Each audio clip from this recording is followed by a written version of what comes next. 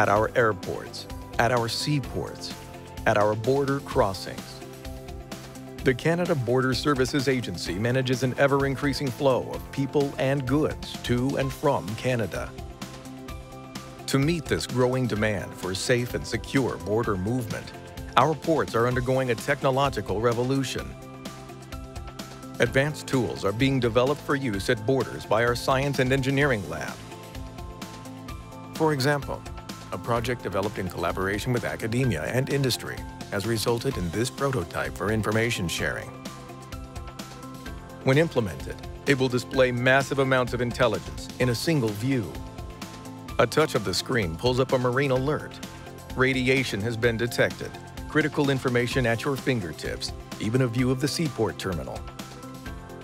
Travelers at airports, who's going where and when at a glance, with the ability to analyze and compare data from other times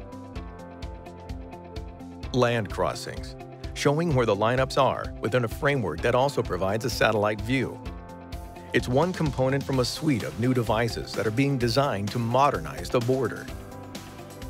We're helping with that predictive sense of what do we think we're going to be seeing? Where might that next threat be coming from? Threat detection is a key driver of research into non-intrusive inspections novel imaging methods are being developed to see smuggled material. Upgrades are underway now for portals which detect cargo radiation threats at our marine container facilities. Biometrics, automated technology for identifying people, will be part of the border of the future.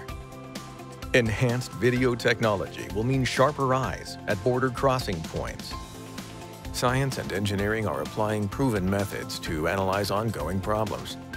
Identification of contraband goods, suspicious alcohol and tobacco samples, industrial chemicals, and many other materials. The benefits of these next-generation technologies will be strong. They will help to allocate resources to the right place at the right time, streamline service, and help us make quick decisions on high-risk passengers and cargo. This is managing the modern business of the border and Canada's public safety.